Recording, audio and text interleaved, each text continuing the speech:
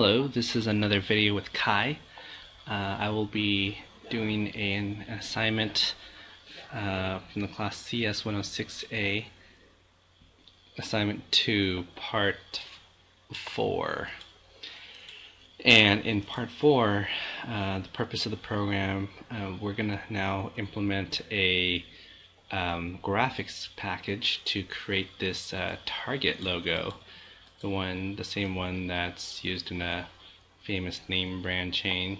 And uh, what we're going to do is we're going to discover what we need in order to make this uh, target work. And so to produce this target, um, first of all, we need to have it centered and in the right dimensions. And it looks like for the outer circle, they gave us uh, 72 pixels or an inch and then this one's 0.65 inches for the inner white one. And then the inner red one is uh, 0.3 inches. And so let's go ahead and get started. Okay. So the first thing that we need uh, when we build this is that we need to import the graphics package. And as you can see it's already been done for us. So the graphics package is right there. The uh, program package is there as well. And um, this isn't really necessary. Java.awt usually use it for like action listeners or events and uh, things that might happen. Um, might not be necessary in this this uh, file. But anyways, um, to get started, um, basically all I have to do is extend the graphics program because now we have a graphic instead of a text. So now the extension shows graphics program. And I will build a method that says uh, build target. Okay. And I need to create a stub for it. So let's say private void because it's not going to return anything. Build target. And that's it. And here we need to initialize our variables for the radius of those uh, circles. Now the circle, there is no circle uh, operator, rather there's something called a G oval. So you can make an oval, but of course if you make the radius the same on both sides, it would appear to be a circle. Um, and that's the one that we're going to implement and use in our program. So uh, let's go ahead and put private, and let's put, uh, let's see, to calculate this, um, the, fir the first one is 72 inches.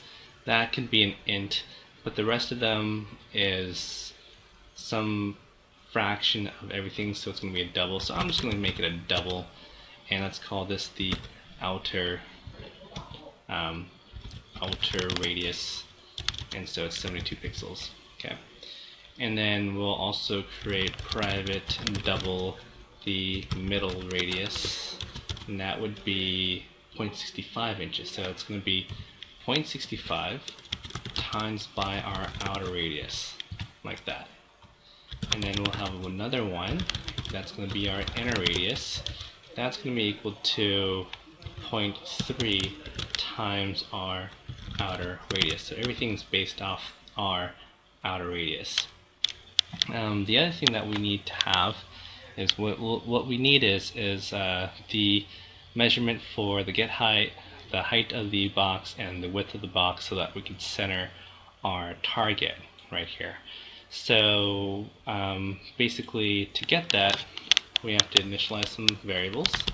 So let's call it private, uh, um, let's see, well we need to center it, so we'll call it private double center x, okay?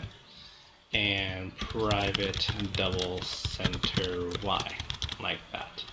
And in order to calculate the height and the width of the box we need to call a method called get width. It's a method and another one called get height. And because it's the center we need to divide each of these by two. Now the one thing I noticed about uh, Eclipse that you need to watch out for is that if you initialize the variable get height and get width outside of the run method, uh, what would what would happen is is that uh, center x and center y will return a zero because the dimensions of the box hasn't been created yet.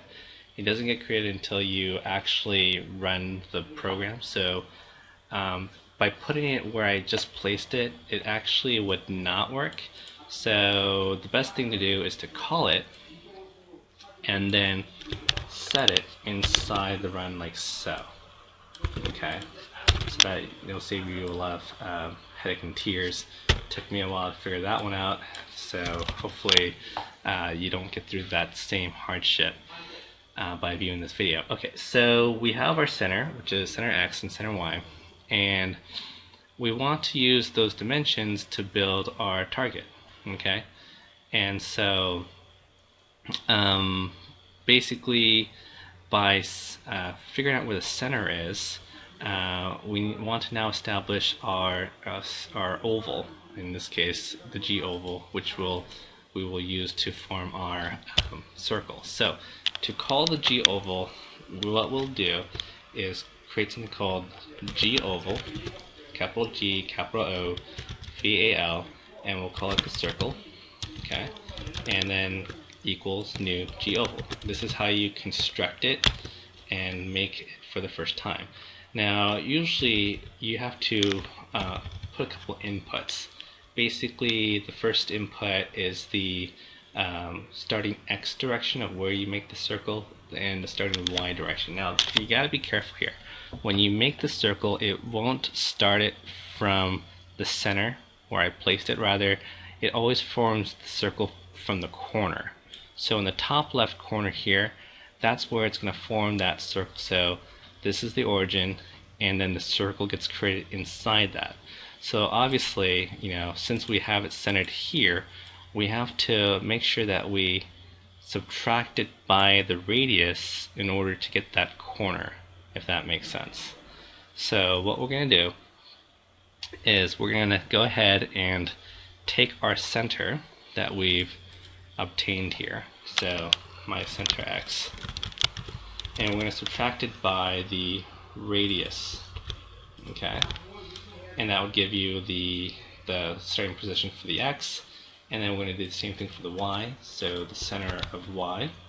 And we're going to subtract. And you'll notice that when it comes to calculating the um, the position, it, 0, 0, think of it as like a Cartesian coordinate system basically you have your cross, let's imagine there's a cross right here, and that would be your origin 0, 0. And basically what happens is when you count in this direction, that's positive integers, or positive numbers going this way. And instead of having negative numbers uh, going down, this is going to be positive going this way for the y direction. So you have positive going in the x, positive going in the y, and basically down here would be that max height, and over here it would be the max width if you can picture that. But anyways so we have our starting position for our x starting position for our y. Then we need our starting uh, our radius or our, I'm sorry not the radius but the diameter. And that would be the diameter for the x and the diameter for the y.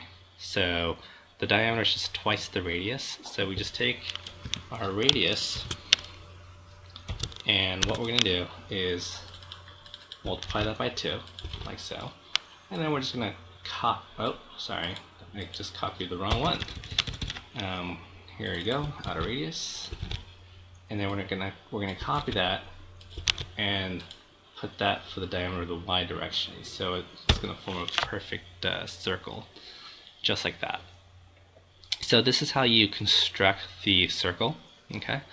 And then the next thing is to teach you how to set the fill of the um, circle. So if I hit circle, okay, which is our new G oval, uh, our new oval, we hit circle and then hit dot. And when that happens, a list should pop up. And if it doesn't, it doesn't really matter, you can still type it out. But we want to set the filled boolean to be true. So true implies that we're going to put a color inside it. And so that's like that. And then what we're going to do is we're going to hit circle again, dot, and set the color to red. So set color, and then to denote the color, you first type in uh, color with a capital C, dot, and then all in caps, R-E-D, because the first one is going to be red, just like that. Okay? And then once you're done with that, uh, to go ahead and build that circle and put it in the box, you need to now add the actual G-oval to the canvas. So we have add circle, and there you have it. Okay, there's our red circle that we've just generated. Now, the one thing you have to also remember is that how you add objects to the uh, canvas is also how it gets layered. Now, you can always uh, move the layer forward or back, so if you want the white to be in the back or the red in the front, you can reposition it, but it would be a lot more of a hassle at this point to actually do that. You can just go ahead and um, reorganize how you're going to add the circles. Okay, that would probably be the better way. Uh, the next thing you want to do is now we're going to go ahead and add the middle circle. So we're going to hit G oval again. So this is good practice, and I'll call it circle M, and I'll add another G oval. And this time, um, instead of doing center minus the outer R, now we're going to do the center minus the middle R. Okay, so that's the only difference. And then you're going to copy that over center Y minus middle uh, R, comma, enter. Uh, we're not quite done there yet. And then 2 times whatever the radius is, which is uh, middle R, okay, comma 2 times middle R. Okay, just like that. And the one thing you want to remember is that you also need to go ahead and set your uh, conditions, which is uh, filled and white. Now notice how it says circle here, but the circle that we created is circle M, so we've got to make that change. And once we make that change, and what we're going to do is add another M there, and we're going to add there, and instead of red, we want white. Okay? And the last thing that we want to do is we want to add the last part, which is the inner circle. So we can do that by hitting G oval circle uh, inner, right? Equals to new G oval. And we want to do center X minus the inner R and then the center Y minus the inner R and we want to hit enter again and put in our diameter so inner R comma 2 times inner R and then just like that we went ahead and and created the inner circle. Now we need to also modify the conditions of the inner circle. So we're going to put circle I and then we're going to set fill it again.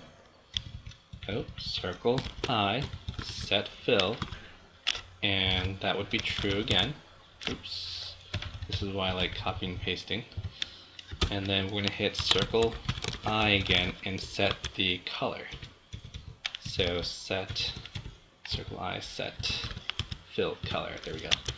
So color, and we want to put red as the inside. Make sure it's in caps though, okay? Don't know if it makes a difference, but it's usually in caps. And then, last but not least, we're going to go ahead and add that circle I. Now, the cool thing is, is that um, now that we constructed the uh, the big red one, the middle white one, and the small red one, we can actually add it multiple times to the canvas and we don't have to um, put them together like so. Where did that go, by the way?